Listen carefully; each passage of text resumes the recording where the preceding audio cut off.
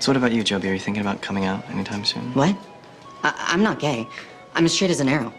I'm attracted to women. Obviously, of course. Um, I, I, I